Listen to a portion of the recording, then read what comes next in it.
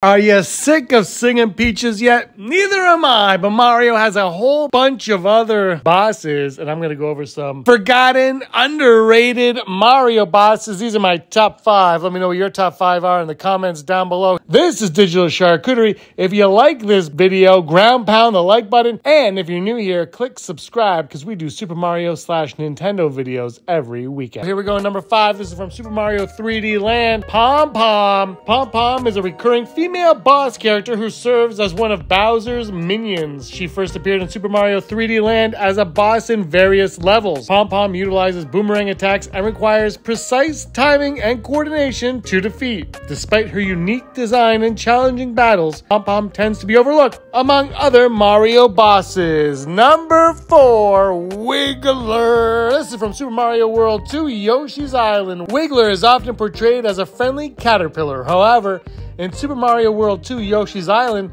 Wiggler turns into a boss in certain levels.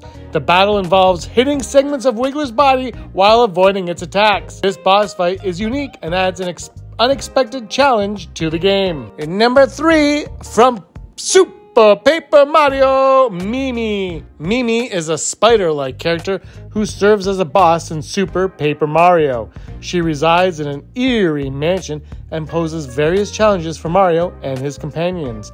Mimi's battle involves manipulating the environment and utilizing different pixel abilities, making it an interesting and underrated boss encounter. Number two, from my favorite Super Mario Bros. 2 is Wart. As the main antagonist of Super Mario Bros. 2, Wart often gets overshadowed by other Mario villains like obviously Bowser, Peaches, Peaches.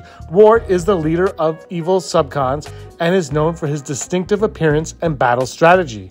This boss fight takes place in a dream world where Mario must use vegetables to defeat Wart, making it an underrated and unique encounter. Eat your veggies, kids! And number one, King Kaliente from Super Mario Galaxy. King Kaliente is a giant squid like boss who resides in the fiery, melty, molten galaxy. This boss battle requires Mario to navigate small platforms while avoiding King Kaliente's fireballs and launching coconuts back at him. The dynamic platforming and the unique design of King Kaliente make this boss my most underrated. Those are my top five underrated Super Mario boss villains. What do you guys think? What are yours in the comments below? Let me know. I would love to hear what you have to say. Thank you so much for watching, everybody. Please give us a like and subscribe. And until next time, may you be the master of your own universe.